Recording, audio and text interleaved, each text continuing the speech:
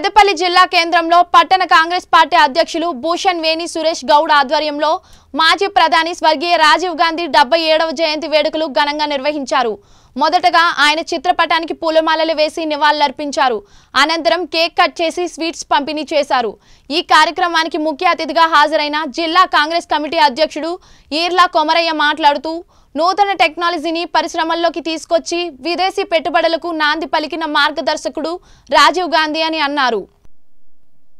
దేశంలోనే అతిపిన్న వయసులో ప్రధానమంత్రి అయ్యి అహర్నిశలు దేశం కోసం పేద ప్రజల బాగు కోసం కృషి చేసి అనేకమైన సంస్కరణలు తీసుకొచ్చిన ఘనత రాజీవ్ గాంధీకే దక్కుతుందని కాంగ్రెస్ పార్టీ నేతలు అన్నారు. Articles seventy three seventy four ద్వారా స్థానిక సంస్థలకు నిధులు కేటాయించి దేశ ప్రగతికి సోపానాలు గ్రామాలని గ్రామాలు అభివృద్ధి చెందితే దేశం కూడా అభివృద్ధి అవుతుందనే సిద్ధాంతాన్ని నమ్మిన మహానుభావుడు అని అన్నారు.